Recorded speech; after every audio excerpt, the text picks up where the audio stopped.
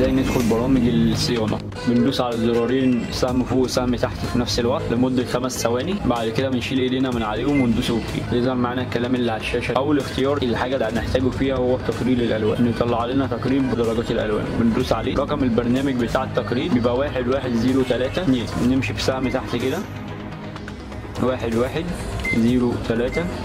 بعد كده اتنين.